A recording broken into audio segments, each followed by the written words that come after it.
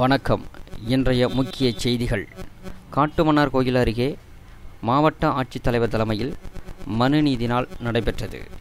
கடலூர் மாவட்டம் காட்டுமன்னார் கோயில் அருகில் உள்ள வீரநந்தபுரம் ஊராட்சியில் மனுநீதி நாள் மற்றும் கிராம சபை கூட்டம் நடைபெற்றது. இதில் ஊராட்சியில் உள்ள பொதுமக்கள் மற்றும் சுற்று வட்டாரத்திலிருந்து ஏராளமான பொதுமக்கள் கலந்து கொண்டனர். முன்னதாக நிகழ்ச்சியில் தொடக்கமாக கடவுள் வாழ்த்து இசைக்கப்பட்டது. வருவாய் கோட்டாட்சியர் சி. ராஜேந்திரன் அவர்கள் வரவேற்புரையாற்றினார்.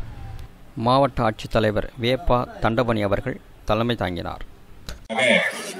இந்த மாநில அரசின் மூலம் செயல்படுத்தப்படுகின்ற வருகின்ற மிக சிறப்பான திட்டங்கள் குறித்து இங்கே காட்சி அரங்குகள் அமைத்து விளக்கங்களை அளித்துள்ள துறைகளே இங்கே திரளாக கலந்து கொண்டிருக்கின்ற இந்த வீரானந்தபுர கிராமத்தினுடைய அன்பிற்கினிய பொதுமக்களே தாய்மார்களே.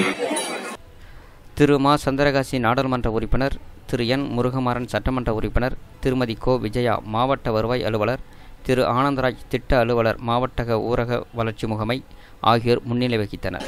ஆற்றல் மிகுந்த கடலூர் மாவட்டத்தினுடைய ஆட்சி காட்டுமன்னார் கோயில் அமையப்பட்டிருக்கிற மாவட்ட உரிமையியல் மற்றும் குற்றவியல் நீதிமன்றத்தினுடைய நீதியரசர் திரு சுந்தரம் செயலாளர் சார்பு நீதிபதி மாவட்ட சட்டப்பணி.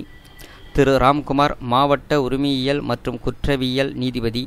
மேலும் பல துறைகளைச் சேர்ந்த அதிகாரிகள் கலந்து கொண்டு திட்ட விளக்க உரை ஆற்றினார்கள்.